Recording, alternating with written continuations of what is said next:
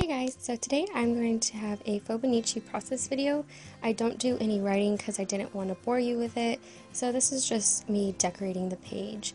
I just started two days ago and this was the 22nd, so that was yesterday.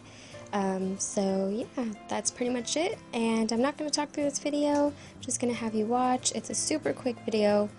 Again, the final picture of the finished products will be on my Instagram.